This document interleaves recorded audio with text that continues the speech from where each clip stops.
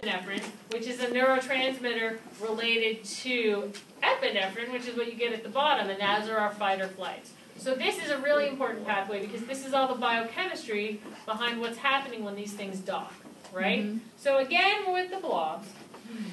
but in this case, all you have to do is draw a six ring figure. I don't care if you draw a circle or you draw the actual one, two, three, four, five, six, as long as you know that this is a six carbon ring. I'm not grading you on your drawing of the rings. But we gotta do all the side chains on this and then we get our break. So let me take a picture of that before I forget and accidentally erase it.